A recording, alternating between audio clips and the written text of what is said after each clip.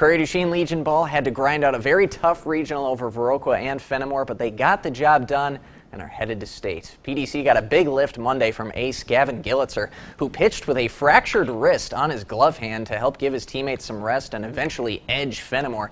And that sacrifice is something that every veteran on this team said they'd do for this group.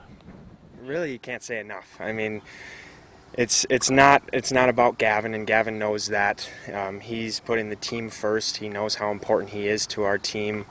Um, we were we were getting short on pitching, and he he said he's going to give it a try. Coaches didn't pressure him at all, and he said I want the ball, and end up pitching a great game for us. Would definitely mean a lot. I mean a lot for Corey and I and the other seniors that be here last year, but.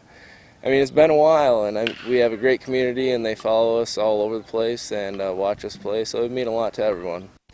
Elsewhere in Legion Ball, the senior Arcadia team has reached Class A state for the first time ever. Arcadia used early offense and a lot of great defense to get to this point, and they hope to continue that, making it a strong tone a good defense, you know, always helps your pitcher out. It's a lot better when he can throw strikes. You know, he can be confident throwing strikes because he knows his defense is out there to back him up, so he doesn't have to feel like he's got to do everything himself.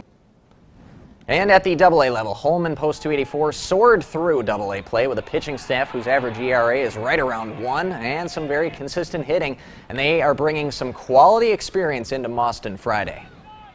Five of the seniors and one of the juniors, this is their third year in a row at state.